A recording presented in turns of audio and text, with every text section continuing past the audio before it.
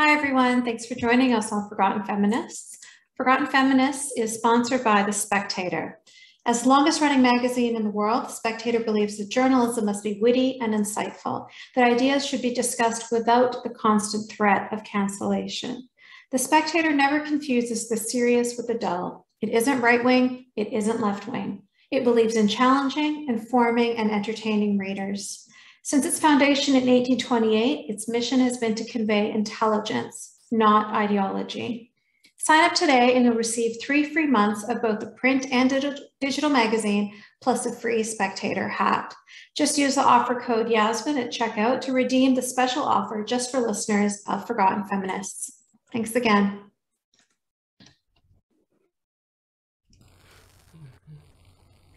Hi, everyone.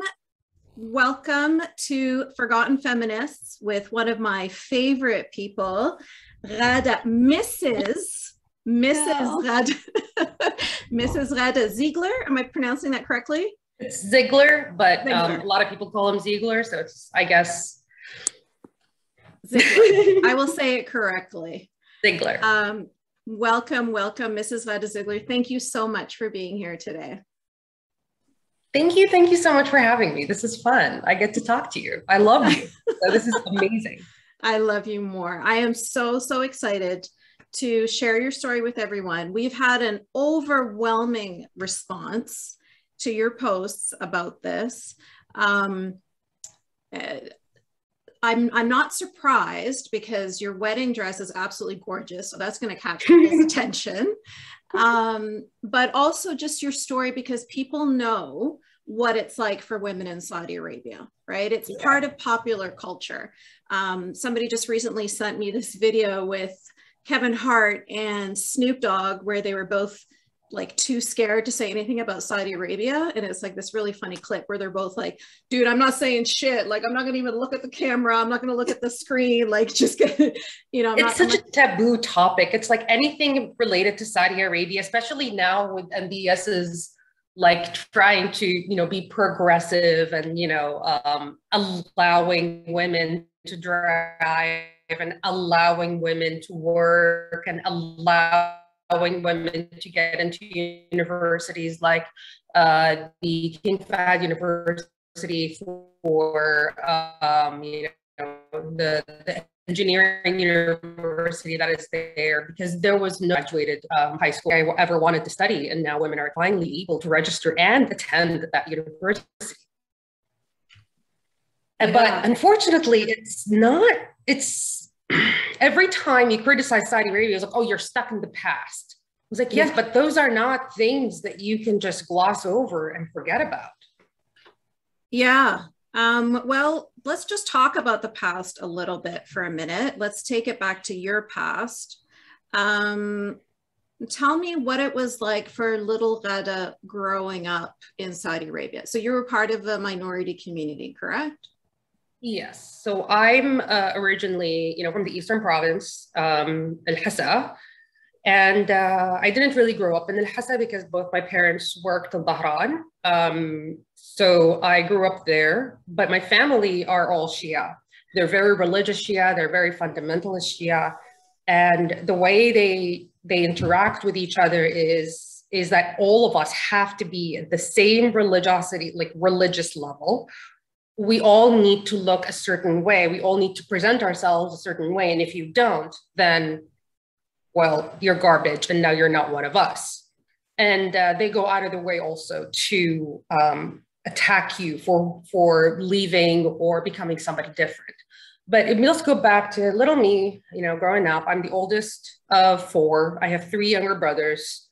Um, I, whom I love very, very much. And when I was younger, the way this is how religious my family were. Instead of you know the way um, you know mothers go and you know tuck their tuck, tuck in their kids give them a kiss goodnight or give them a nice you know story uh, maybe snow white and the seven dwarfs. Nope. Mine were biblical stories mm. um, stories you know from the quran stories from um, biblical traditions you know noah adam uh, Moses, all of those stories. And uh, Moses was the, lo- the, longest, obviously, because he goes through so much. And uh, in addition to that, of course, I would read, uh, you know, Surah Al-Fatiha, Surah Al-Ikhlas, the Ma'awidat, Ayat Al-Kursi every night before going to bed. And then I get to be asked by my mother the uh, questions I would be asked before going, you know, after, uh, you know, when you're dead and you're buried, the, uh, the questions, you know, who is your God? What is your religion? Who is your prophet? And uh, who is your imam? Because, you know, we're Shia. And I would have to recite all 12 imams in the right order. And that was every single night until I, uh, my mother was, uh, you know, I, I was too old to be put to bed. So that's, uh, you know, she would do that at for, nine years old. And she would do uh, that with all four of you guys. Like that was a, that's a busy night. Oh yeah. It's, uh, she only did it with me. She never did it with my brothers. Oh, and then she was, uh, she was like, I should have done it with your brothers too. Look at you, yours, you know, you know everything. And uh, once I left, she was like, you don't know anything. Yeah, yeah. then it's like, yeah, yeah. So you just flipped so immediately, right? Yeah. Yeah, it's but I mean it's it's the way I grew up was just so bizarre now that I'm thinking about it after meeting so many people here. It's like, oh, you didn't grow up like this? Yeah. You know, the um people don't seem to understand when you're nine years old, you're still a child. And when you put a hijab on a child, you yeah. are essentially telling them that now you're an adult and everything that you do is I You know, mm-hmm. I can't go running around because then um, what if like my ankle shows or I fall and my shirt rides up? Or, um, you know, that's not ladylike. You know, don't sit like this. Don't talk like this. Don't do this. Don't do that. Everything's so restrictive. And that's essentially how I grew up. Mm-hmm and riding a bike or swimming or any sports no i never learned how to swim i still don't know how to swim and it still is a very sore like subject for me because i would love to learn but it's just such a scary thing for me mm. because Same. you know i'm in my 30s usually people learn when they're children i have the exact same issue my husband is like you need to learn how to swim, you know. it's the same thing. but I he's tried to teach me and I've almost drowned him because I freak out as soon as my feet are not touching solid ground. And I, you know, it, it's I guess we're I, I could eventually get over it. I mean, I did learn how to ride a bike. Same, same. Look at us, grown adults, excited that we can do things that children take for granted. Oh, yeah. Like they don't even think about this as a as a right or as a privilege.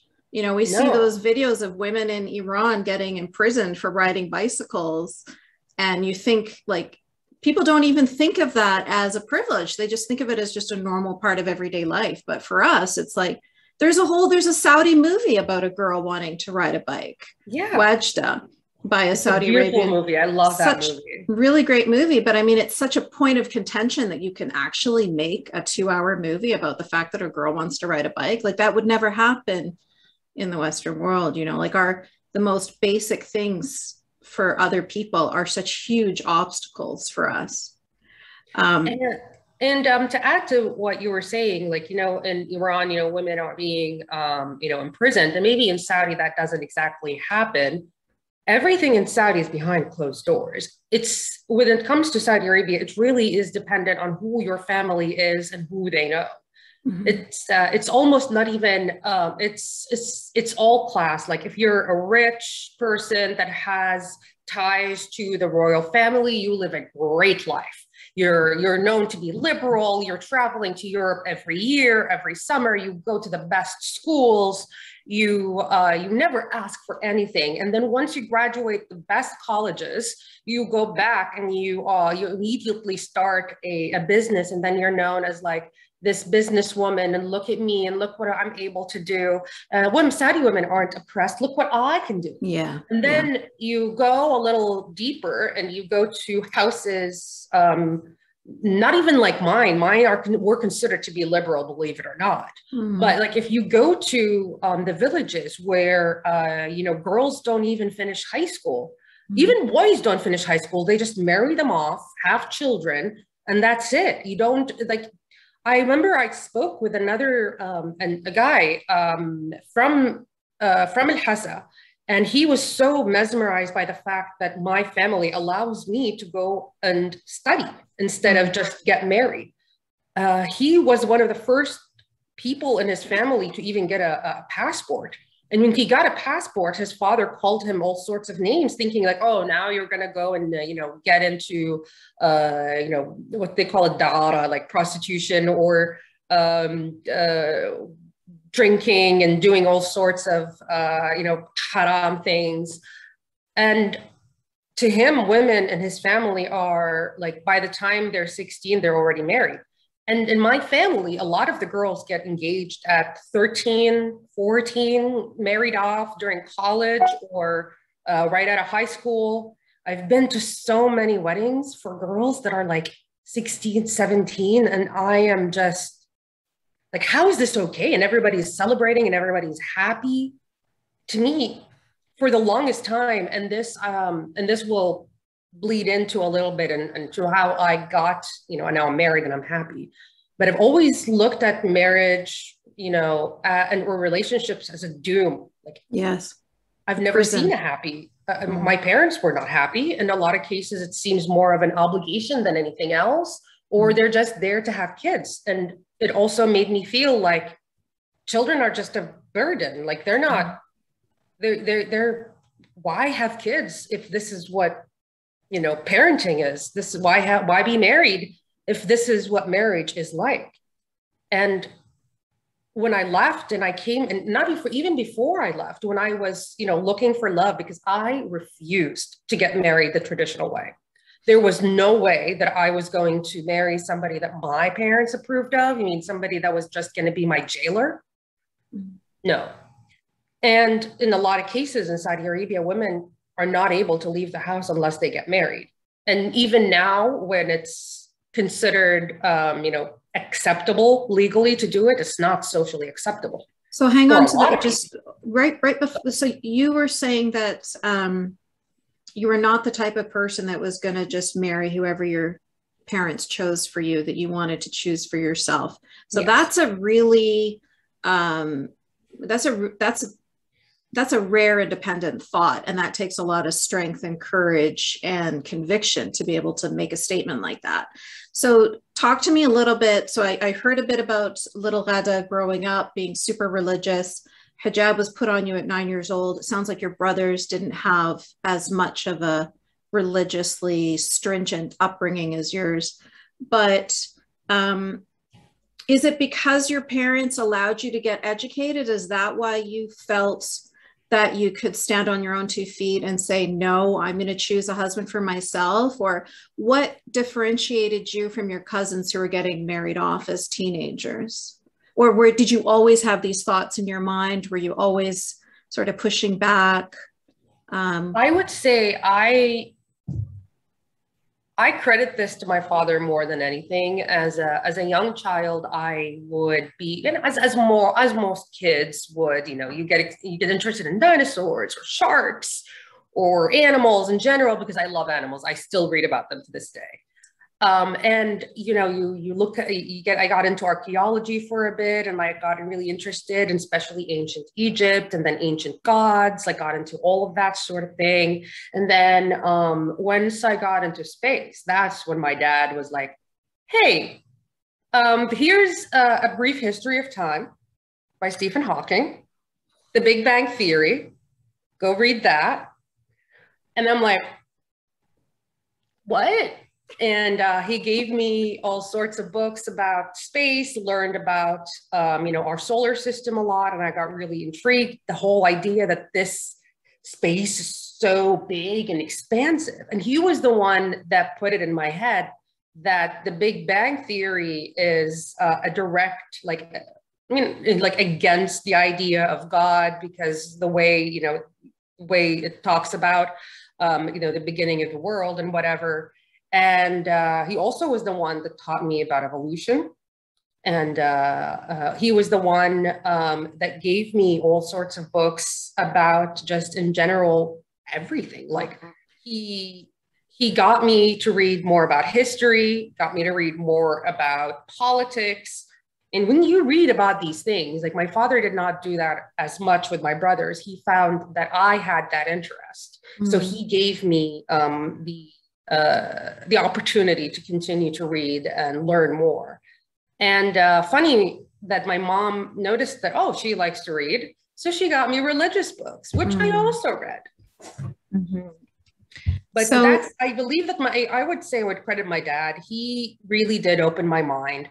And also watching watching their marriage that was not a very happy marriage and then seeing everybody else like like I was I remember thinking like they barely know each other. Why are they getting mm. married? yeah.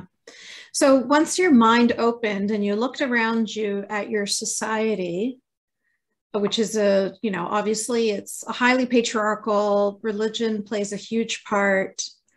Um, do you remember a point when you started to question like why why can't I just leave the house when I want to? Why do I have to have a male drive me where I want to go? Or yeah. There are so many times I've asked that question. Um, whenever I wanted to go out, my mom would be like, "Oh, uh, girls, uh, good girls don't go outside." I'm like, mm-hmm. "But why? I just want to go see my friends.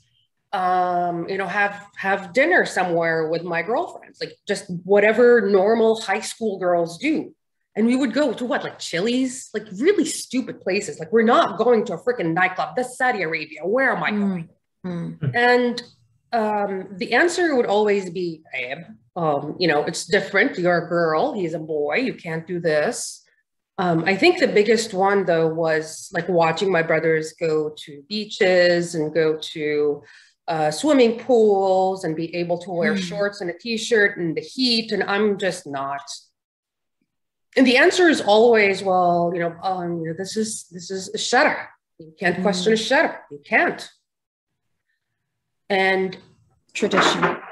It's just a sh- shutter is the is the law essentially, the religious law. You can't mm-hmm. question it. That is it. You got to do it. Like, oh, you want to go? I was like, well, if you really wanted to go to the beach, go to uh, an all women's beach, mm. or you know, just get into the water. You can go into the water with your abaya. Oh, and you can't show off any of your like you can't show your legs because what if somebody looks at your ankle and gets a hard on? I'm sure the men on this call right now are having a lot of trouble. There's so many hairs. oh my god. so um did you have other girlfriends in Saudi Arabia? Like what were the are the women there feeling like the niqab and the hijab and all of these restrictions on them are empowering and does it make them feel like strong feminists or it only they- becomes empowering when somebody is uh, when somebody else takes it off. It's when you're all together um, i remember sitting with my cousins and my aunts one time and we were looking at old pictures like pre 79 pictures um, before the uh, the ultra religious uh, wave just came over, and you know none of the women were wearing hijab. Uh, my mom, you know, out and about in America with her hair out, and other women too, you know, and now they're all covered up with with niqab or, or the whole, um, you know, uh, or the cover, a face cover and they would all be like, "Oh yeah, them. I'm so jealous. They're mm. so lucky they got to do this." Or they would talk about their other girlfriends. Not really. They, they we were never really allowed to be friends with more liberal girls, but we we are allowed to have like acquaintances. So they'll be like, "Oh yeah, this girl, she's so lucky. Her family lets her not wear hijab." Or, um, you know, this family is lucky they don't make their girls wear hijab until they're 12 instead of nine or something similar to that. But you go immediately, one person takes it off. It's like, oh no, what why would she do that? She's yeah. not respectful anymore. Mm. I swear to you, Ghada, I remember this conversation with a friend of mine. She's like, Ghada, wallahi, I swear to you, the hijab here, it makes everyone respects us. Everybody respects us over here. I'm like, okay. Mm-hmm. You're so you're saying that she is not respectful anymore because she took it off. So if somebody goes up to her and harasses her, she deserves it. That's what I'm hearing. So that's what, um, um, honestly, it's never looked at as empowering. It is only empowering if somebody attacks it. If somebody attacks it. Oh. How did we get uh, Richard on the main screen? it's because he's handsome, so he has to. Oh. I guess I guess you're meant to say something at that point, Richard. you got the microphone suddenly. Um, so when oh. somebody attacks it in the West or something, then they would say, "Oh, Yes. And it's suddenly like, oh, hijab never really stopped anybody. And then they would show, um, you know, the hijabi uh, Olympians or uh, hijabi, you know, business ladies and whatever. And they always forget to mention that those people come from backgrounds with supportive families. Like um, the majority of women that go out and do all of that like if I were to wear what um, what the American fencer was wearing, my mom mm. would call me a whore because that uh-huh. shows everything. Or the hijabi models with their oh, skin no. tight and their their makeup and their fake lashes. I would have been murdered and buried in the backyard if I tried to leave the house in pants, let alone the skin tight hijabi things that they wear these days, and then say, this is so empowering. Like it's just a it's it's a lie. It's all propaganda. it's, it's it is propaganda. It is it's just like it's what people don't seem to understand is that we're not generalizing. We're looking at the people that have no voice because mm-hmm. these people that are talking that the people that are going out there that are doing all of these things they're privileged enough because they have families that are supporting them the majority of us don't Mm-hmm. When I wanted to just be able to not wear like just to give you an example, I couldn't leave the house in Saudi Arabia wearing a abaya if I was wearing a short skirt or shorts underneath. I had to mm-hmm. go change into pants or a long skirt in order to go out. Why? what if it opens? Mm-hmm. what if there's uh, what if there's a breeze? Mm-hmm.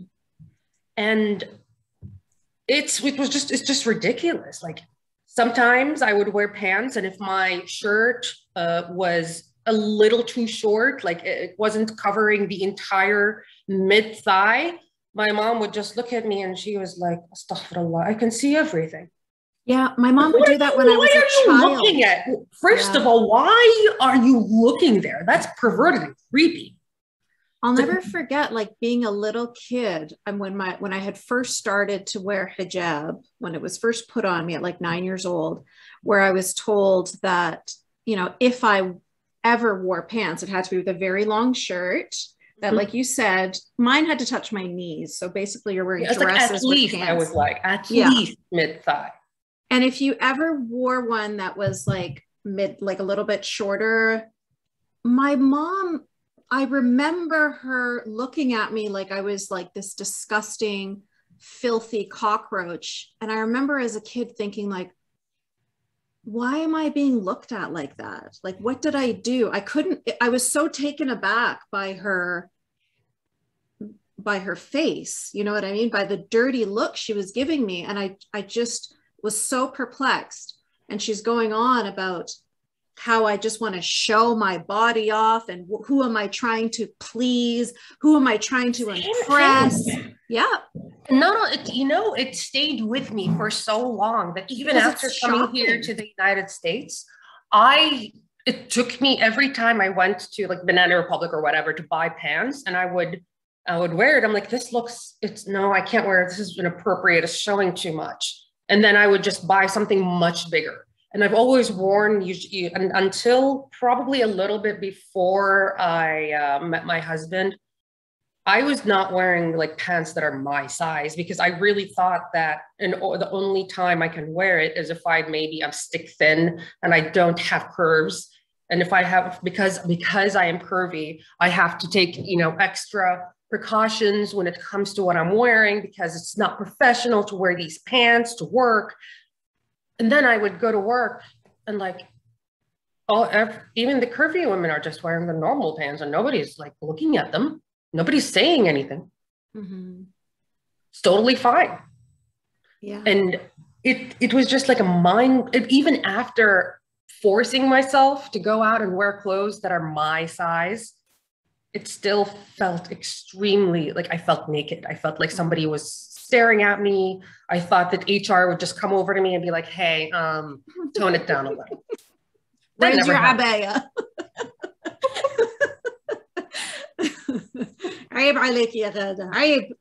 because when I was in Saudi and um, I worked in Aramco, so it was more yeah. open um, I wore I would wear the long the long shirt alongside with my pants, and my pants were always baggy. And through the grapevine, I learned that uh, literally the men, the old disgusting men over there, were saying that they would read that that what I was wearing was very revealing, shows everything. She's not even trying to hide her assets, and boy, would I love to go and ride her. Literally, uh, that's what they would be saying to each other. And after that, I, when, so when you hear something like that, of course, I immediately internalized it and started wearing abaya at work. And that's why hijab is rape culture. Because it perpetuates this rape culture. It perpetuates this victim blaming, right? It it it it tells you that the actions or the thoughts of these slimy men is your problem, is your responsibility, and you accept that. And you don't even question it. And you're like, yep, okay, so I'm going to have to start wearing abaya now because yeah, I'm responsible and, for these men. And whenever you see, uh, to this day, this happens, like when uh, um, uh, like the static crowd went and started harassing this woman, everybody was like, well, what was she doing there? Why did mm-hmm. she go there? Of course, she must have been asking for it. And the biggest thing I've always heard was from um, the, uh, the, the the Saudi people was like um, in Arabic, لو كانت محترمة ما حتعرض لها. He's like, mm-hmm. if she was covered respectful. up and all respectful, then nobody would have. I was like, I swear that if she had been wearing hijab, nobody would have touched her. Yeah. I'm like, really? Yeah. Really? Have you gone to the mall? Have you? Because my mother is covered up from head to toe, a married woman with four children, and she gets sexually harassed. Are you telling me she's not respectful? Because I, I don't know. Women in niqab get sexually harassed. Yeah. yeah. There's the statistic from Egypt, which is so shocking. It sounds like I'm making it up, but you can look it up, where 99.3% of women in Egypt report being sexually harassed. So I guess 99.3% of women in Egypt are disrespectful people that don't respect themselves, right? You it always gets turned on the women. And this is something that in the in the West, I want to make this your story, but I'm just going to have a little bit of a rant where in the West, they'll recognize it immediately, right? They'll do those slut walks and they'll say a woman can wear whatever she wants to wear. It's none of your business. It's the criminal. It has nothing to do with her. But when it comes to the hijab, suddenly their brain misfires. They forget everything that they've learned and everything that they understand about feminism and about slut shaming and about victim blaming. And suddenly they're putting the hijab on the cover of magazines and they're calling it empowering. And you're seeing it on every flat surface. Um, so let's talk a little bit about that dichotomy. So you mm-hmm. left Saudi Arabia, you came to the US. Yes to seek asylum here in the mm. free West. Tell me a little bit about um, tell me a little bit about that experience and and how that sort of just the juxtaposition between these two cultures, these two societies. How has that all been for you? Okay, I want to go. I want to take a step back a little yeah. bit. So, um, uh, through I was able to study in the United States, and that's where I got my engineering degree. And I remember during our like orientation and whatever, everybody was telling us about culture shock, and you'll go there and it's going to be culture shock, blah, blah, blah, blah. I go to uh, the US, and I swear to you that it felt like my 18 years in Saudi was culture shock, mm-hmm. and I'm finally here when I'm not in culture mm-hmm. shock. I never experienced that because to me, that was like, this is normal. Mm. I can go out. And you know what I wanted to do when I wanted when I wanted to go out? I wanted to go for a walk. Yeah. That's it. Yeah. You know, it was it's like this dumbest, smallest thing. I you can't walk by yourself for a walk in Saudi Arabia. That's no it. way. Mm-hmm. And uh, which is why now one of my favorite things to do is go hiking. It's just mm. a walk. And uh, so, uh, fast forward a few years later, and I'm in, in my 20s and I'm here in the US. And um, it's, it's, the first time that I got to experience America as actually America because before it was college. You know, when you're college, that's not real, that's not real, real life. College is not real life. So, uh, and in the real world, uh, and I'm, I guess I was lucky because I did end up in Texas, and in Texas, uh, people are super duper nice. And uh, when they know about my past, they immediately want to help. Um, sometimes they think I'm Christian, but you know, sometimes I let them think that, but not anymore. but uh, the biggest justification, uh, the, the, biggest thing actually probably was um, just seeing how people would tell me, it's like, yeah, but that's just your culture, right? Hmm. I mean, my I just told you my mother sent me death threats. Mm. I was like, yeah, but I mean, this happens also in Christian circles. Mm. Like, oh, do you know somebody personally that has sent that has sent their daughter death threats? And uh, it, the one thing that really bothered me was something I actually messaged you the other day. And um, mm. I want to talk a little bit about it because I've I've heard from other people. Um, usually, whenever I wanted to seek therapy, I would seek it through the secular therapy project because uh, I don't want somebody to start talking to me about religion. And whenever I would, um, you know, research a uh, a therapist, I would make sure that in none of their profiles, whether their website or their Psychology Today web, uh, you know, page or anywhere else where they're mentioned, they are not. They do not put their religion. And I don't, and I'm not saying that I would choose a Christian. I, if anybody goes out of their way to put their religion on their website or article or whatever, I don't choose them as my mm-hmm. therapist because mm-hmm. that that's just me. I don't feel comfortable. I want somebody secular. I want secular therapy. Mm-hmm. So I reached out recently to a um, a therapist um, that was referred to me by somebody else, and after having a talk with her, uh, she decided later on to send me an email to let me know, like, hey, um, after talking to you, I don't think I would be able to help you, though um, I would like to refer you to, you know, this person. So I did my research the same way I would ever do, and she had gone out of her way to put her religion on her profile as Islam. Hmm. So she referred me to a Muslim.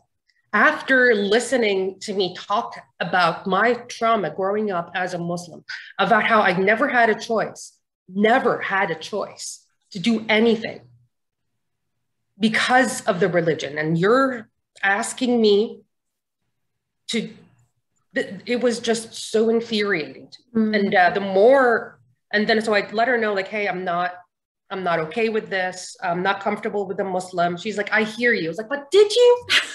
yeah. Did you? Mm. So I told her, please, and as a suggestion, next time if an ex-Muslim comes to you, do not refer them to a Muslim therapist. I it's mean, fucking one of one. Yeah, absolutely. It's just I, I, I don't even. What could be the what is the thought process here?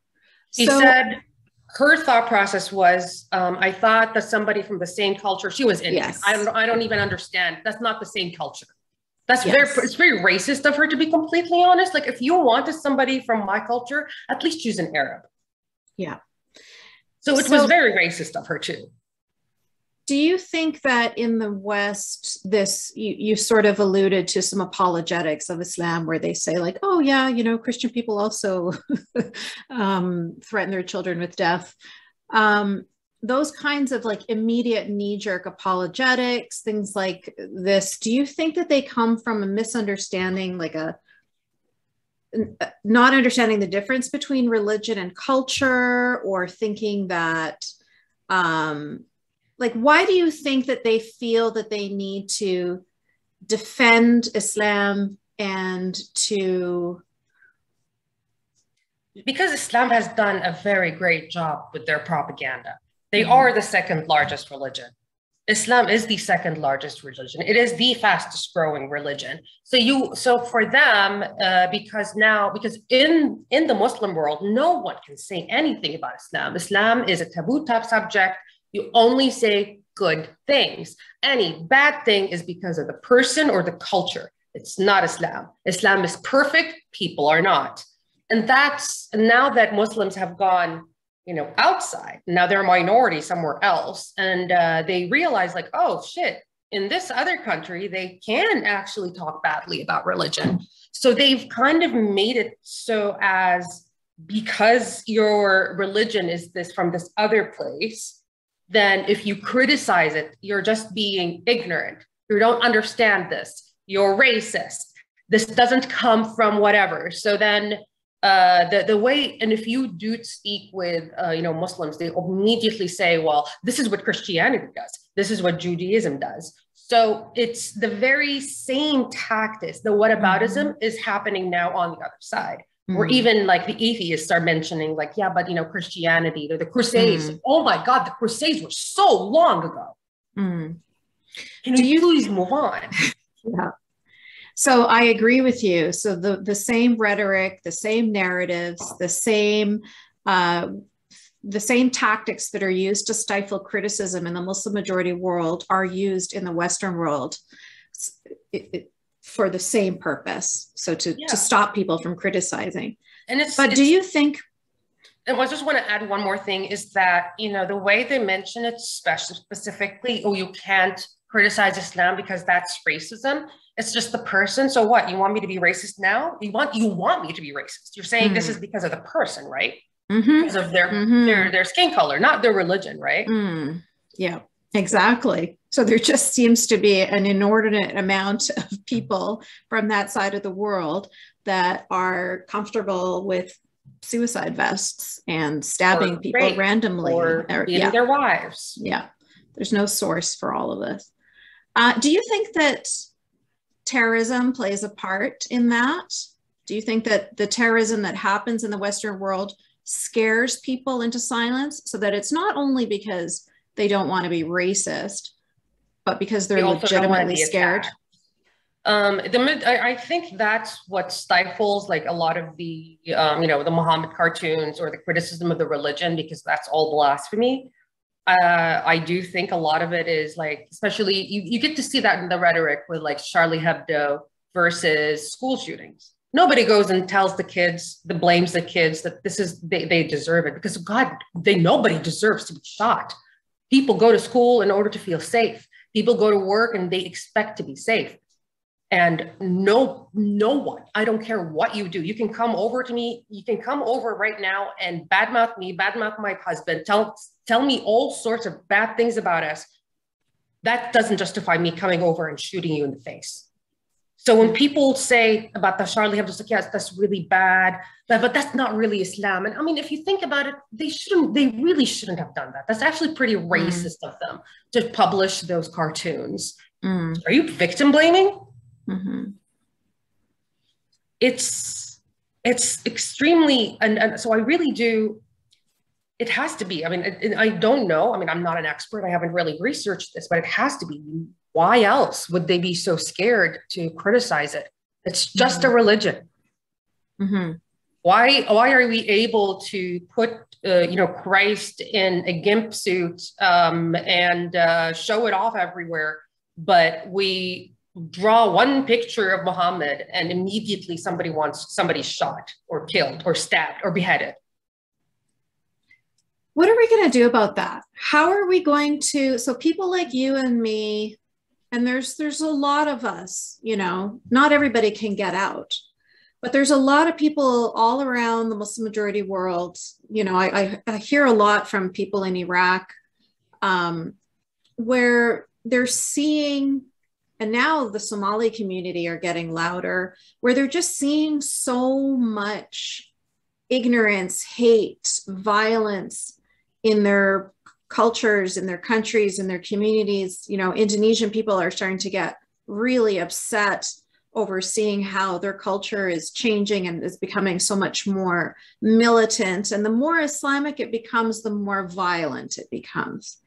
Um, and you're seeing this happen everywhere, and you're seeing people feel very um, upset about it. And when they try to speak out, so what I'm, thinking now of Hamid Abdel Samad, who is an Egyptian German um, critic of Islam. And he had to leave Germany because of the, the death threats, and the Germany would not protect him in the same way that they would protect Muslims. They wouldn't defend him.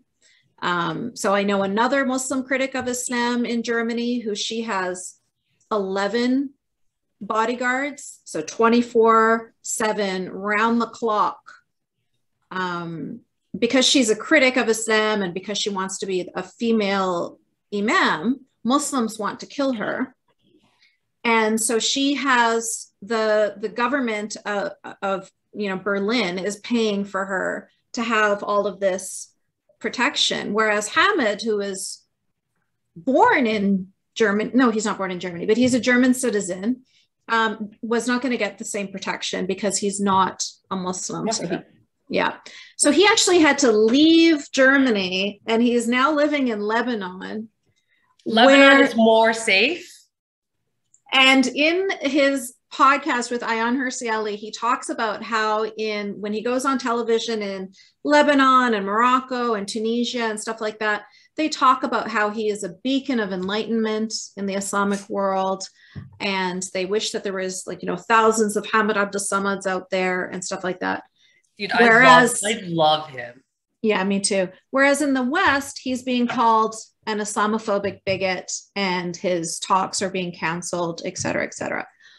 How do we, you and I are people that have one foot in each camp how do we speak to our Western friends? How do we communicate with them? How do we get through to them? What have you found in your experience um, was was useful for you? What I found to be useful was I mean, honestly, it's, I mean, nothing has changed. But the only thing that I can think of is we need to change actual policies that we have in the West. The, the Muslims have a lot of a lot of backing. They have Saudi Arabia and Qatar. They have the UAE. They have they have the oil money. Mm-hmm. They have the money. They have uh, the people that are going and lobbying for them. We don't. The only thing and a lot of us don't have the energy. A lot of us like you said get these threats.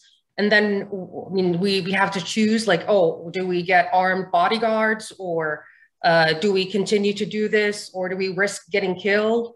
And then it's it's a very it's a very difficult thing but the only i mean i honestly don't see anything that can be done other than lobbying because that is the one we have to change the policies we have to change the strategies. That's the only way or else they will continue to win because they have that power and money. Yeah. And that's what they're doing. They're pushing the agendas. I mean look yeah. at that. When 9-11 happened the majority of the hijackers were saudi. Saudi was never touched because they got the money. Mm and, and, George Bush was the one that said the whole like, you know, this is not from Islam, Islam mm. is a religion of peace or whatever. George mm. goddamn Bush said that. Mm. Yeah, yeah. You think he would have said that from the goodness of his heart after 9-11? Mm. No. He doesn't believe that. that. That came straight out of Saudi. Yeah. Money talks. So, um, so you at the beginning of our conversation, you were kind of using air quotes when you were talking about MBS and the changes in Saudi Arabia. Are you yeah. feeling like it's all window dressing and it's all just sort of appeasing um, the international community, but none of it is is real? Is that what you're feeling? Yes, and I also see MBS as this young dictator. Uh, he's using the same old Arab dictator methods of silencing putting people behind bars, uh, uh, you know, not just building, hacking a bunch of people to death. Um, you know, he's ordering killings, ordering uh, all sorts of bad things. But then he comes up and he's like, we want to open this country for tourism. Women mm. now can own their own houses and live on their own and go and travel outside without a guardian and also work. Mm. But at the same time, you have Lujain al which is still mm. being har- harassed in Saudi. For what? For wanting women to have more rights that are given right now. Mm-hmm. So, do you have hope that things are changing in the Arab or Muslim majority world in a more open minded, secular, liberal direction? Or do you think that it's just all fake? I don't think it's fake. I think it's genuine. I think the the rise of uh, secularism in the the Muslim world is is increasing, even if uh, what we see is not that um, that and I mean if you go to like my my cousins that I that are still some of them talk to me occasionally um, they tell me like everything is open even my family is becoming more open mm-hmm. uh, because the younger generation is a lot more open than the older generation and the older generation is going to die the mm-hmm. one thing that needs to change is the strategy and the policy that we have in the Middle East by the, from the Western world. We can't continue to back up back the dictators that we have that they've put in place from God knows when. Mm-hmm. Um, because then you'll just have another Arab Spring that will end up the same way Libya and Syria has happened. We can't let that happen. But until until somebody from the Western world actually condemns what the, uh, especially the Gulf region is doing, nothing's going to change. It has to. Mm-hmm. We have to keep on, we have to make, you can't say that, you know, we, we want democracy where we are, but we don't want it for other people because they are not smart enough to choose the right mm-hmm. choices. Because mm-hmm. what? We have to put in a dictator to choose for them. Yeah like MBS wants to be the benevolent dictator that uh, forces people to progress. People are already progressing. Give it, I know it's not the same when if you give, if you change the laws and the laws are now that you have the freedom to speak, to do, uh, to travel, then it'll come. But if you are going to stay as a dictator and if you are like, yeah, well, I would really like to drive, okay, now you get to go to jail and then we're going to let women drive, but you shut up. Mm. How is that any helpful? Yeah. Yep. All right. Uh, we are going to open it up to question answer. I have multiple essays written here. Ooh, I oh see so. Gosh. Yeah. Um, hi, everyone. Thank you for everyone who's got their cameras on. Nice to see your beautiful faces. And those of you who have your cameras off, um, please feel free to, to write a question for us in the chat. Um, before I start reading through these essays, is there anyone with their video on now who wants to ask a question of Ghada? Sarah, my girl. All right. Go ahead, please. Sarah was my forgotten feminist from last time, week before last. You guys hear me? We can hear you. Yeah. yeah. Thank you so much, Ghada, Yasmine, and all of you. I, I love you girls. I love you guys. Uh, you're amazing. And Ghada, I'm so proud of you. I'm so proud of you and congratulations for your new uh, marriage. Uh, I'm happy for you. And everything about you said about the West, you know, uh, trying to glorify Islam, trying to, we need to, I think first, we need to differentiate, you know, we need to differentiate Islam and race. So the way they do it, they use Islam as a race, and it's really disgusting.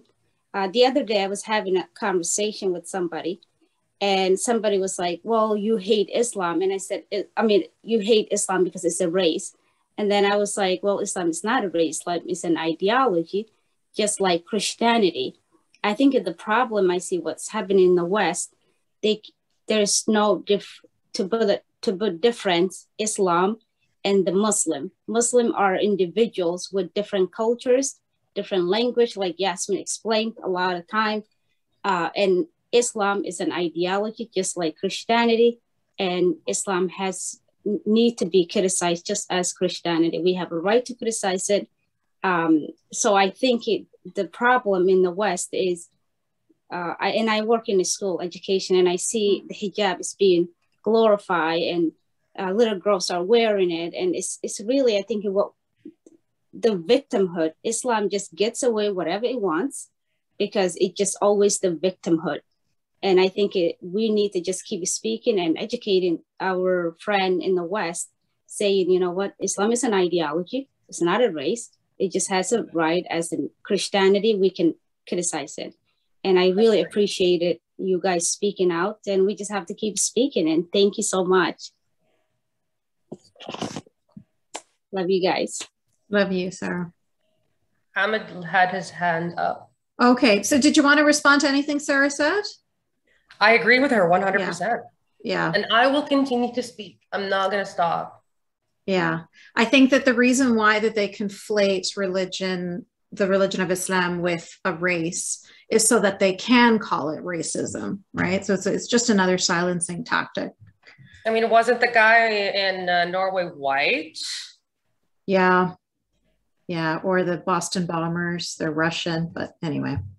Uh, Hannah, we'll let you go. And then who did you say had their hand up? Hamid? Okay. Hamid? Well, Hannah and then Hamid.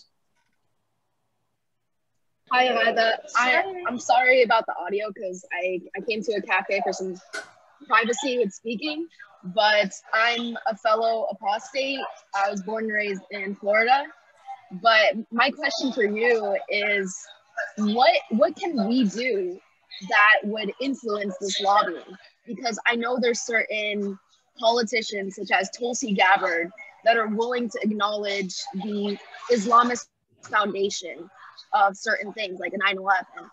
Um, personally, I, I, I think things would be better if we had more people like her in the government. But I'm just, I guess my question is like, how, how, what can we do? How can we like try to, I guess, raise awareness or get more people like her inside the government? The, if you have money, I guess I would say donate to people that are lobbying. If you can become a lobbyist, become a lobbyist. I don't know how to be a lobbyist. I've never really looked into it. Um, uh, I, I, think it's a fake job, but hey, if it's a fake job, might as well have somebody uh, on our side doing it. Um, voting in people that are like that, trying not to attack them whenever they speak. Um, if anybody remembers the talk with uh, Asra Nomani and Ayaan Hirsi Ali when they went and testified in Congress and Kamala Harris did absolutely not look at them, maybe not have her as vice president um, you know, things like that. You know, it's the more it's we're not talking as loudly, we're not doing things as loudly. We don't have the organizations that they have, we don't have the money that they have. So I think the, the only thing that we can do honestly is that if you do, if you if you know somebody that has uh, you know, a, sympathetic, somebody that is sympathetic to our cause to help and uh, to continue to do that. There are congressmen and women um, eh, that are that are you know uh, sympathetic to us, and they get attacked or they have to stay quiet. I think the more they, the more we encourage them, the more if you write to, I mean, I, do it. I write to my Congress people and my senators, even though my senator is Ted Cruz and I hate him, but I still write him. Um, you know, do something. You know, don't stay quiet. I don't care if you're Republican or Democrat. Just do something. I will at this point plug that I am working with the Ayaan Hirsi Foundation on an initiative, and Hannah works with the Ayaan Hirsi Foundation as well. Um, so I'm working on an initiative where we're having the first working group meeting on December 9th, where it's a coalition of bringing together everybody Muslims, ex Muslims, Jewish, Hindu, atheist, whatever, doesn't matter, never believed in a God.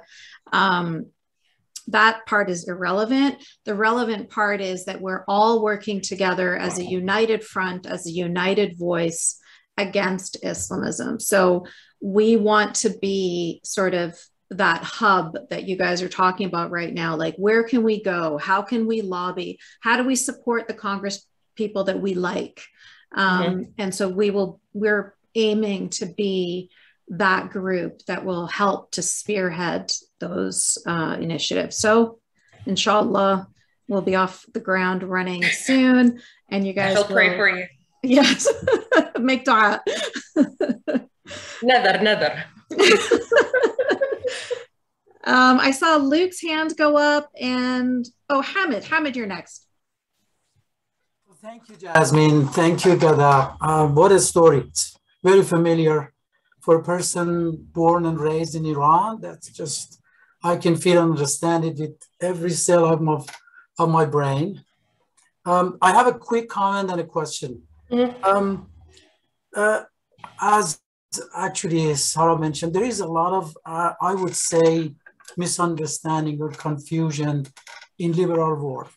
Not, we are not counting on dictatorship like China and Russia. I think we have to find our allies in democratic world. And um, like you mentioned, uh, the Islamic propaganda is very, very powerful.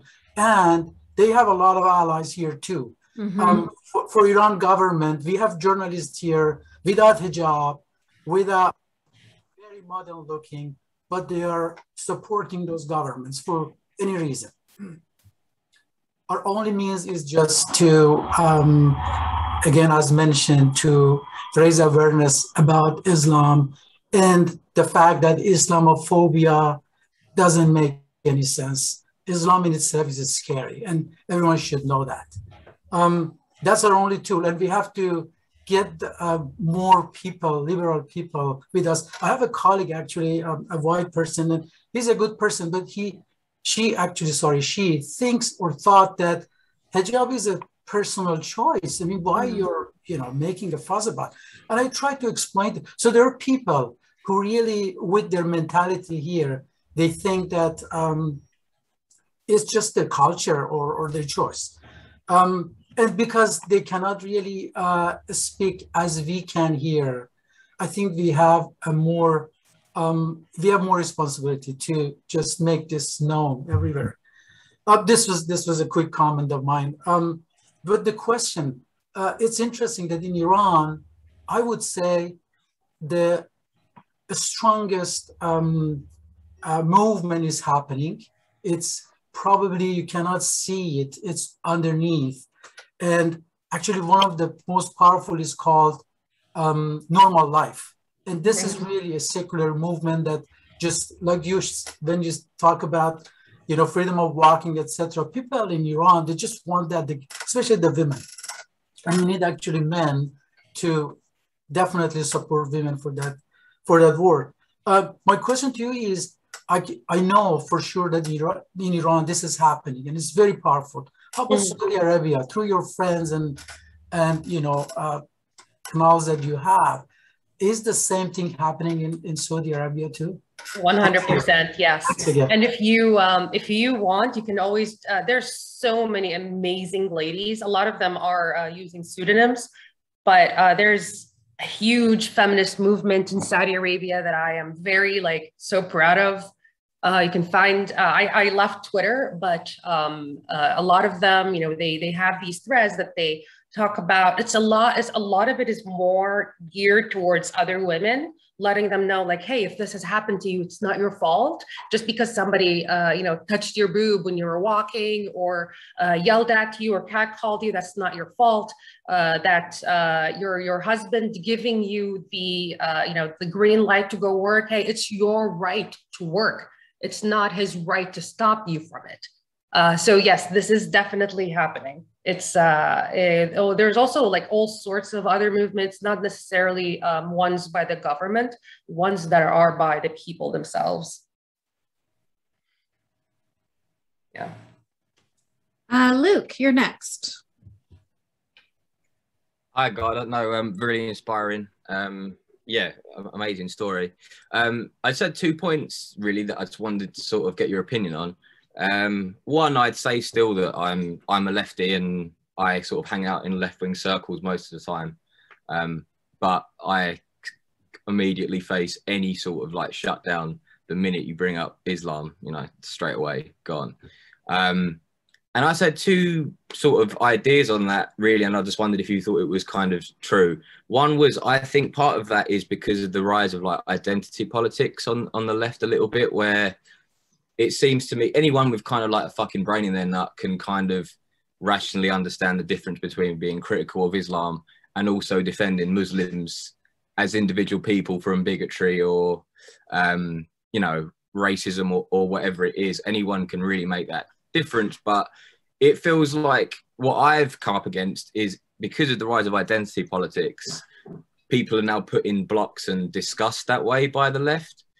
Um, I wondered if you if that's something that you noticed. And secondly, was my experience was when I first become involved with like left wing politics, which was like university.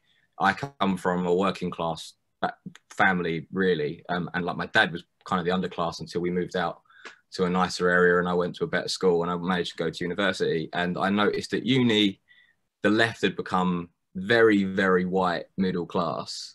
And I wondered whether that kind of complete narrow like kind of life experience for that that culture on the left has influenced the fact that they can't see anything outside of just like you know if if it must just be white people's fault that this is kind of the way that um so it can only be christianity which is stupid because obviously only white people aren't christians. But um, that that's that i just those just two points really. I just wondered if you agreed or if you had any thoughts on that really. Yeah um, the identity politics things for sure. It's it's come to the point where people i don't know if it's people um, realizing that um, it's much more difficult to just i don't i, I honestly i'm trying my best to understand why identity politics rose. I don't know if it's a uh, just to fill a kind of gaping hole of, or if it's just uh, racists being more racist but in a different manner. Um, but i do definitely see that from the way i would be combating that. And it's also another um, answer to hamid's first um, comment is to use identity politics against them. Oh, you want to you want to be talking? You're telling me that it's Islamophobic, or we don't want to talk about that, or you know, you're brown, so you're definitely in this position. It's like, well, that comes from a place of privilege. You're mm-hmm. you're you, oh, you're saying uh, hijab is a choice. Well, you know, having that choice is a privilege. It really is having the choice to put it on and take it off is a privilege because in a lot of cases we don't have that choice um, oh, you have the privilege to, um, you know, tell me that I can't talk about this because, well, that's a, that's privilege because we, you are privileged. You, don't get um, your genitals mutilated. You don't get uh, put in your house or married off at nine years old or 10 or 12 or 15. That's privilege. So you, it's, it's always use it against them. I always do it. I have used that against Jim one time when he told me he thinks that religion is cute. I told him that comes from a place of privilege. Mm. yeah. Jim is her husband. Um, yeah, I, uh, I'm actually, Chandler is here and he hasn't raised his hand, but I'm going to, that's actually something he's talked about quite a bit about how sort of what you just mentioned there about how white people are actually being the racists in this scenario. Um, and that's something I hadn't really. It's very, it sounds a lot like Orientalism to me. Yes. Yeah. So I don't know if you wanted to speak to that, Chandler. No, you're, you're muted. muted. No, that's okay. You don't have to. I put you on the spot. Am I on? You're yes. on. I never know how. To, I still don't know how to do this damn thing. I'm sorry for being late. I was driving my kid off to his new job. Yay! Um, yay! He's got a job now. Um, I think that the the uh, the one thing that's absolutely amazing is this, this choice idea. Well, yeah, women can choose to. In the Southern Baptist Convention, I wrote this book. I'm gay. I wrote this book on uh, sexual orientation biology, and it came out. It was published by Hyperion, which is the Disney publishing thing. And as a result, I am very proud to say that I was one of the reasons. My book was one of the reasons that Southern Baptist Convention called a boycott of Disney. And um, that one one of my great proud moments. And it's it's very funny because the the the great majority of women in the Southern Baptist Convention they made a decision because they felt the world was spinning too liberal to say women must follow their husbands, they must be subjugated to their husbands. And you know that's and, and as a result of this thing and yeah you can choose to do that but if we have any fucking values as liberals, then we say no. It's a bad, it's an anti-liberal decision, and you could choose to wear hijab, but you know An you, you're, anti-liberal position. you're choosing to participate in in your own oppression. People choose to participate in their own oppression all the time. Love it. Yes, I say that too. I'm like, you're free to get a swastika tattoo on your face. And I'm free to think that you're a Nazi asshole. Right, exactly. I'm I can have a judgment on your choices. I'm not stopping you.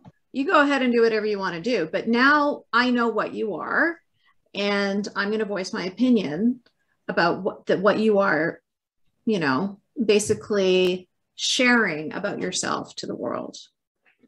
Uh, Rami? right. Yes, thank you, uh, thank you, Chandler and Rami. Sorry to. Uh, No, that's fine. Yeah. Thanks. Uh, can you hear me? Mhm. Yes. Yeah. So um, yeah, when when talking to sort of my maybe my believer friends uh, or so, uh, I often deal with this statement, which is like, uh, "Oh, you're just too bitter. Uh, you're just Yeah. so angry about this religion that you took too seriously almost, and you have this like emotional reaction while everyone else was uh, sort of flexible around it." Uh, I wonder if you like uh, deal with that too. I wonder if that's maybe why you were referred to this Muslim therapist, because maybe the healthy thing to do would be f- like for you to be less bitter and show acceptance as she might have or something. And uh, so, yeah, how would you deal with this thing where it's almost uh, uh, they're telling you you're having an emotionally exaggerated reaction to something you grew up with? Um, I was actually talking about this with a friend of mine yesterday, and he said that it's it's punching down. They're punching down. If anybody else would come to you with a trauma, um, let's say you know any trauma, anything, um, you know your family abused you by you know beating you when you were a child, and then you finally were able to leave. And then you mentioned that to somebody, and then you're like, oh, well, you're just bitter because other parents didn't beat up their kids you know, if you just left earlier, then this never, never would have happened. Or maybe it was like, have you ever thought, I mean, have you thought that maybe, I don't know, if you had just stayed quiet, your dad wouldn't have beat you up? Mm. It's punching down. If you, it's, the trauma is very real. And it's, if it's any other religion, if it's, Catholic, if it's Catholicism, then nobody would be like, well, it's and it's not really that. I mean, it's, it's because you had you took it too seriously and you went to the church a lot and you stayed a little late. Of course, the priest is going to diddle you. Really? It's punching down. It's the way I would. The, the only thing I would say is like, yes, uh, I did take it seriously. Yes, um, I am emotional. It's very normal to feel emotional because of that. It's something that engulfed your entire life. It's not the same as um, you know, something that you just, you know, tried out for two years and then left it. It's something that you were born in, it was engulfed in, it was your every single day. And then when you leave in situations like, you know, Yasmine's and Yasmin and mine, where our freaking families wanted nothing to do with us, we became we became garbage to them just because we didn't want to live the life that they uh, wanted us to live as extensions of themselves. You know that's extremely traumatic no matter what. I don't care if people tell me like oh this is just because you had bad parents or um, it's because you were extreme and took it to the extremes. Like i never had a choice this is something that was put on me. You're blaming me for my own childhood trauma? That is really punching down and really pretty an asshole thing to do. I, I always say that to people. Um, even my therapist when I mentioned to her, like, please don't ever do that. That's triggering and re traumatizing. Just always, honestly, I, I would, I would take it. Like, yes, it's, and you are being an asshole right now by blaming my childhood trauma on myself Mm. or belittling it or diminishing it. It's invalidating. I, if I could add to that, Ghada, I agree with you that you should just own it. So when they say, oh, you're just angry, you're just emotional, I own that. Like, yes, I am angry. And why aren't you? What the fuck is wrong with you that you're not angry at women getting their gen at little girls getting their genitals cut, at getting forced into marriages, at you know anybody who identifies with the LGBT community being executed in about a dozen countries around the world? Doesn't that make you upset? So it's like turn it back on them instead of them making it a bad thing that you're angry, it's like, no, you should be angry. The fact that you're not angry about it says a lot about you and how you lack empathy for other human beings. Especially, um, and it's funny to me when, because I have a gay friend over here, um, that people tell him that he's just too Islamophobic. I was like, oh, really? I'm Islamophobic? They literally want to kill him. Of course, he's afraid. Not only would they kill me, they'll kill you too. Yeah. Yeah. Wait, your gay friend? I'm sorry, Ghada. Where do you live? Um, I live in Texas. And and you have a gay friend who doesn't want to. Saudi. He's also from Saudi. We both came from Saudi. So he's gay. He's his family abandoned him because he's gay, and he's not. He wasn't going to come here and be like, "I'm going to be in the closet," obviously, which is good for him, and I'm happy for him.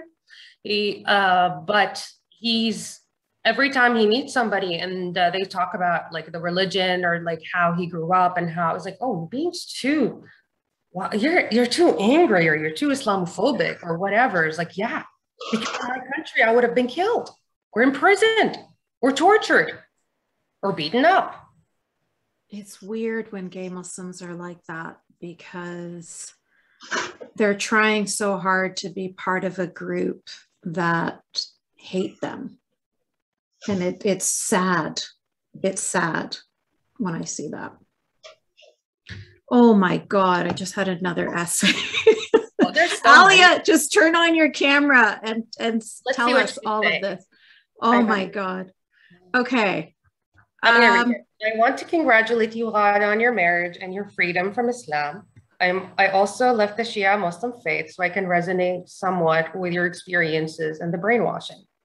My tops also had to be mid thigh length, and I also never learned how to swim. Although, after having children, I made sure my kids did and learned everything I wasn't allowed to. Yes, I am in the midst of ta- taking my kids to the pool and the beaches, I can say that I have graduated from being able to swim to at all to floating on my back. That's amazing.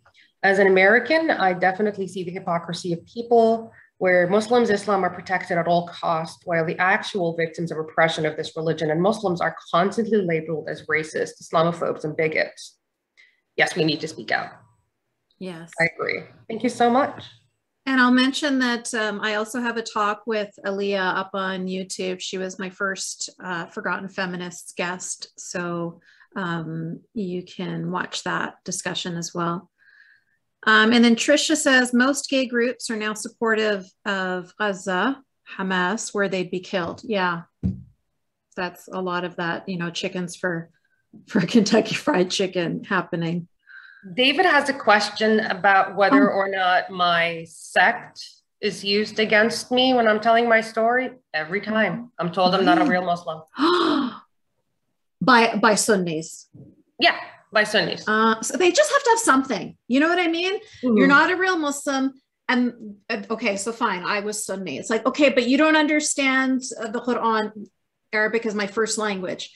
Okay, but you know what I mean? Like there's always like some other excuse that they're trying to come up with.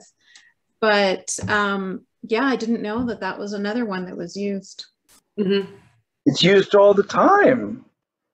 It's used. All, I have friends who are Bohra Muslims in in in Mumbai, and they're told all the time by Shia and Sunni they're not Muslim. No, yes, in general, yes, but I didn't. I mean, I guess it's not a surprise because if you're if your Sunni Muslims don't consider any of the other sects real Muslims anyway. I mean, they barely consider themselves real Muslims. There's there's a there's this hilarious meme of uh, where it says uh, the last Muslim on earth, and he's got a sword in his toes, and he's like trying to stab himself. and that's really what it is they're just constantly you're not a real muslim you're not a real muslim you're not muslim enough and and it's like where where does this end but then at the same time they'll tell you there's 2 billion muslims and we are a huge ummah the second largest religion on the planet so when the numbers work in their favor then they'll count shia and ahmadi and everybody else but when it comes to attacking each other and literally killing each other so yeah. Sunnis will kill Shia and Sunnis will kill Ahmadi. Um, In Pakistan, they are not allowed to call themselves Muslim. In Egypt, they'll kill Sufi Muslims as well. Uh, so yeah, there's there's a lot of inner fighting going on all the time, constantly. Yeah, and the other part, um, it's so the you weren't a real Muslim. Uh, the biggest one for ex-Shia and for um, gay people. Like, oh, you only left because you're gay. If you're gay, you're not really Muslim. Or you wanted to have bacon, or I mean, I I want to have bacon and I want to drink and I want to have sex and I want to be able to go out. And yes, I don't want to wear hijab. And yes, if Uh. those are the only reasons to leave Islam, those are legitimate. yeah, just you want to be free. Uh, Erkan says Muslims have censorship envy. They want parity with Jewish people in terms of protection. Yeah, that's why they made up the word Islamophobia. They want to equate it to anti-Semitism. But of course, Jews are counted as a distinct ethnic group. As a number of people have said here, Muslims are not an ethnic group. The OIC constantly pressures the UN. And Ilhan Omar recently is now trying to push um, for Sarah, you read about this? Yeah, where she's trying to push for an Islamophobia law or something where it's not even just within America. She wants it to be universal, Oh, where you fight against anybody who is considered Islamophobic because they speak out against Islam. yeah, Can you imagine? yeah, She is bringing the Pakistani blasphemy laws Yeah. to the United States of America. And that uh, United Ah. Kingdom, remember the lady that spoke about how, um, you know, talking about Muhammad is is is uh, hurting the sentiments of billions. Like, are you serious? Is hurting many- sentiment is is the hurting sentiment more important than freedom of speech? That's yeah. where are your values? Anyway, is there anyone else that that I've missed? I know there's a lot of chat going on here, and I haven't read most of it. Um, but if there's somebody who has written something in the chat that wants to ask Fed a question or share something, um, I don't want to hang up before you have a chance to do that. So just want to make sure everybody's had a chance to talk. And um, and I wanted to say, um, since I actually like everybody here, um, if you want, um, you know, if you need something from me or need to talk to me, um, a question, anything at all, just let let Yasmine know, and I will. I'll let him know. I'll let her know how to reach me. So I saw that Luke and Erkan, am I saying your name properly? Is it Erkan? Yeah, that's fine. Okay, okay, Yeah. good.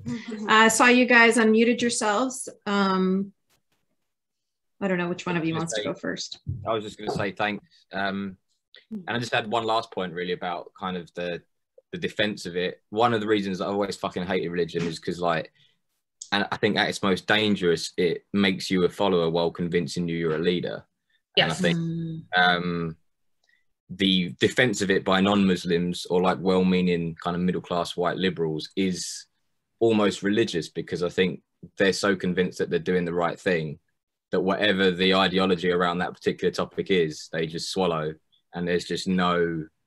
That's it. It's gone. It's like the horse is bolted, and you can't get them back. Like, do you know what I mean? It's like a deaf like dog or something. They've gone, you can't get them back. And I think that's kind of part of the problem. Is like the the defense of it by the non-religious is quite religious as well. I think that's kind of a problem. But yeah, that was just just a point. But thank you very much.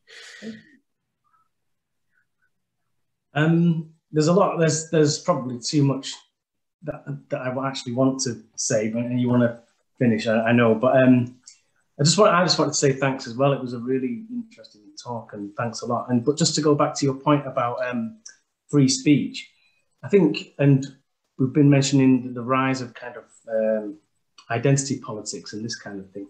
Um, one of the things to remember is that um, I read in the in the critical race theory book. Um, by Delgado, Delgado and uh, Stefancic, that there's a kind of there's an alliance now between a strange kind of alliance between the woke culture, kind of the CRT theorists, and Islam. It has a kind of it has a strand, it has an, an Islamic kind of strand, which I find a curious a curious alliance, especially with the LGBT thing and everything, like people have been saying.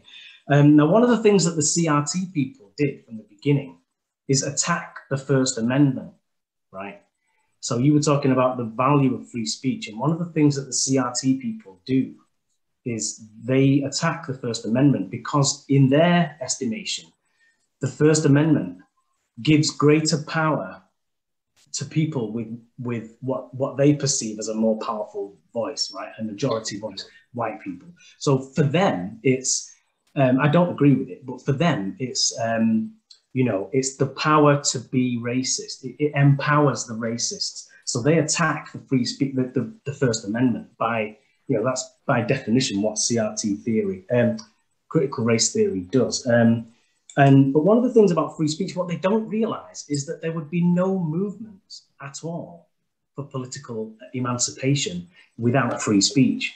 100%. It's the, corner, it's the cornerstone of every of every freedom that we, every liberal um, privilege that we enjoy in Western societies. And without freedom of speech, uh, you know, the, the, the, the, the, the right to protest um, is underpinned by the, by the by freedom of speech, by the right to free speech.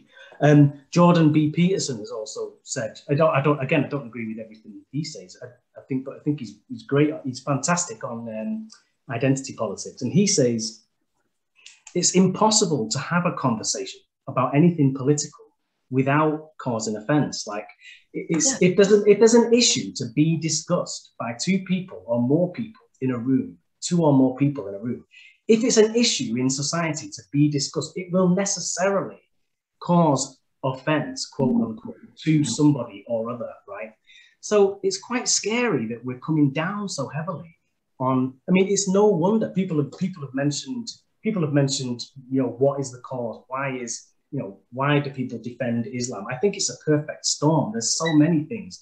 There's Edward Said's Orientalism. There's, you know, there's there's there's the there's the America's escapades in the Middle East. You know, the wars and all kinds of stuff to consider. There's Noam Chomsky. There's there's the left. There's the hard left.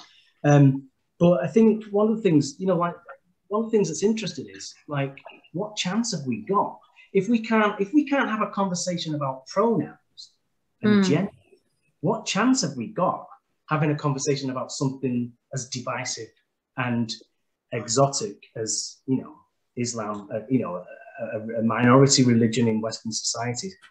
Um, it's quite a scary prospect actually. When people want to attack the First Amendment, it's kind of scary actually because I don't think they they know not what they do, as the Bible would say, right? They don't realize the, the harm actually that they're, that they're doing, you know? That's, that's just my, that's my two pence worth. I mean, I don't know what you think. I like it. Thank you. Thank you very much. I totally agree with you. And uh, that's why it's very important to keep on talking, not, don't, don't let them silence us. I did not mm-hmm. leave Saudi Arabia to be silenced in America. Absolutely. Absolutely. Ooh, I love that. Well said, Ghada Thank you so much. And thank you very much for choosing to not be silent on Forgotten Feminists and to share your story with us. We really appreciate it and appreciate your insight. Yes. And thank you, everybody, for joining us here today. Thank and you, everyone. Thank you. Yes. Thank you. Thank you. Take care, everyone. Bye.